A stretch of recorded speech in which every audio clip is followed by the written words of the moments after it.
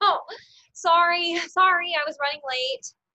Ash is sick, and I had to find someone to look after, and then I couldn't find my damn transit pass. It's been a little wild. Well, oh, you've made good time. You're here before anyone else. Only because that's when the bus comes. It's either get here really early or really late. So I get here early. Oh, thanks, Mr. H. I'm all set. So, how is Ashley? You said she was ill. Oh, it's just a cold. That which does not kill us makes us stronger. Right? So they say, yes. Keep a close eye on her, will you?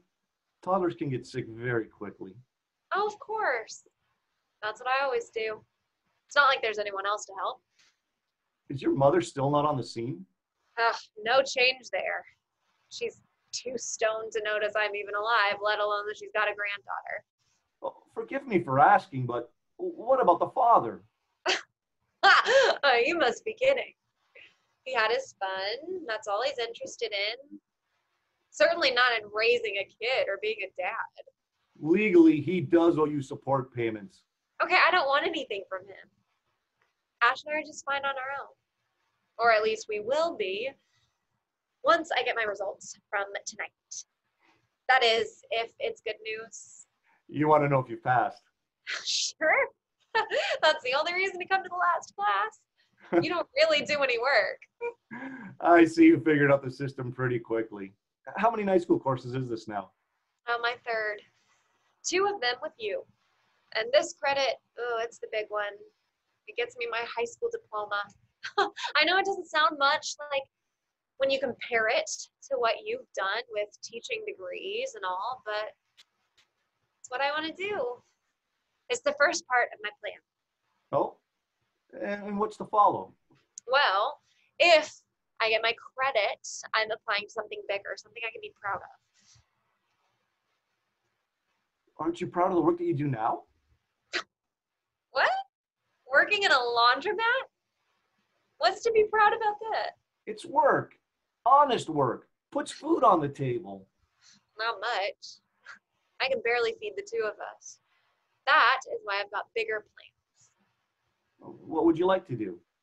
Well, I'd like to win the lottery and tell the world to piss off, but that is not going to happen, is it? I'd say the odds are against it. But, well, there's always the chance of an unexpected windfall, I suppose. Not for me. Nothing good ever happens to me, except for Ash. Oh, I mean, she was an accident, but she's the best thing that's ever happened in my life by far. and if you don't win the lottery, what's your main goal? The hospital.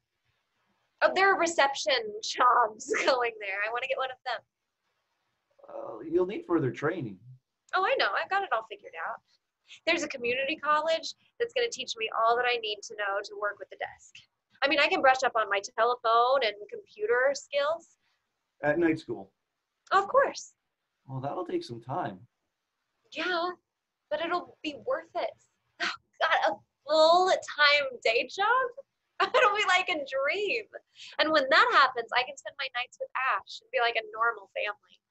Well, almost normal. And all that starts with tonight's class. Well, I won't keep you in suspense any longer. Yes, you've passed the class. what? Oh my God, that's great. Oh God. Thank you. Thank you. Thank you. Thank yourself. You've earned it. Your work has improved greatly. I think you'll be able to handle that college course if you apply yourself and put the work in. Oh, I will. You don't have to worry about that. oh God, I have such plans for the future. Someday I want Ash to go to a real university. You know, like like where you went. Then she could do anything she likes and not have to rely on stoners and losers to give her what she needs. It'll take time and a, and a lot of money, but I'll be able to put some away. Once I get a decent job, I'll put some away from her. That's what I really want. It's a noble goal. I wish you luck. Thanks. So, what about you, Mr. H? What are you going to do when classes are over? Me? Well, normally I take a break and then start teaching in the fall. So what are you gonna do this summer? Oh, the usual rest, read, contemplate the universe. Any big trips planned or anything? Yes, actually, uh, I will be taking a trip, a long one. Any place nice? Uh, I don't know. I'll find out when I get there. Oh well, good for you. You deserve it. Hmm. Just you and your wife going? What? Oh, uh, no, no, I, I'm not married. But that is, I'm a widower. My wife passed away three years ago. I- I'm sorry. I'm sorry. You're still wearing your wedding ring, so I, I just thought you were married.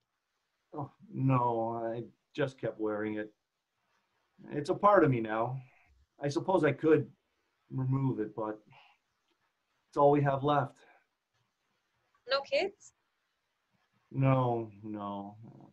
We had a little girl, but she became ill and passed away. Meningitis. We never had another.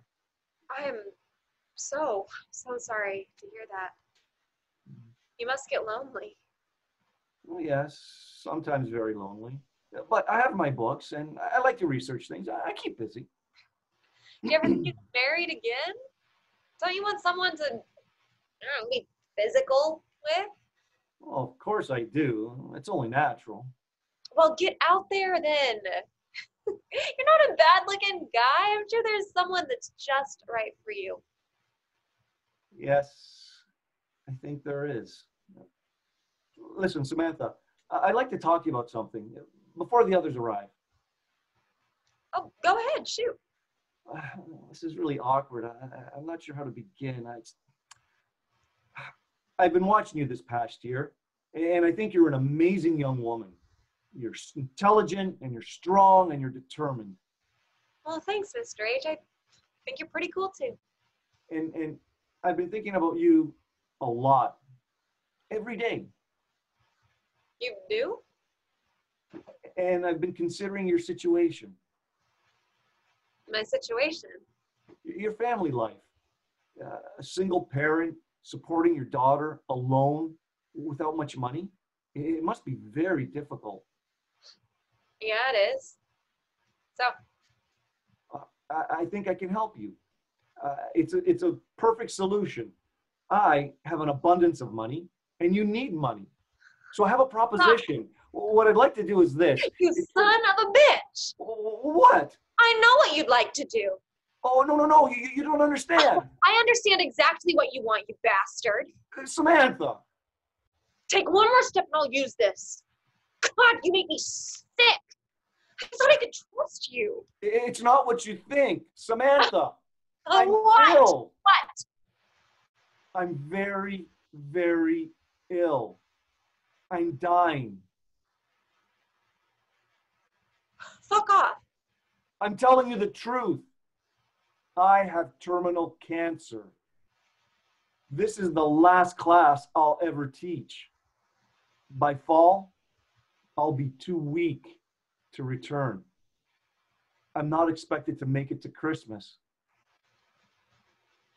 You're telling me the truth? Yes, I wish it wasn't, but sadly, it is the truth. You're really dying? Oh my God, I thought I know what you thought, and it's not like that. I just want to help you, Samantha, financially. You and Ashley, no strings attached. why me? Well, I have no one else to leave my money to, and you two are worthy of it. Think of it as a scholarship. You can go to college and be a full time day student, and you'll have all the money you need for Ashley's university fund. I, don't know what to say.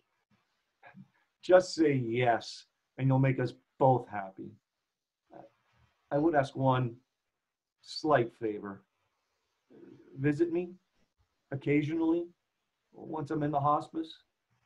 Could you do that for me?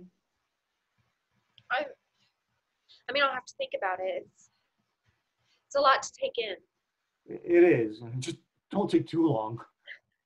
I won't. I'll get back to you. Thank you.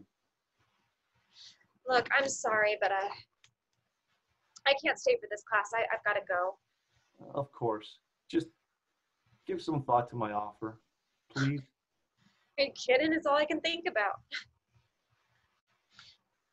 Thanks for everything.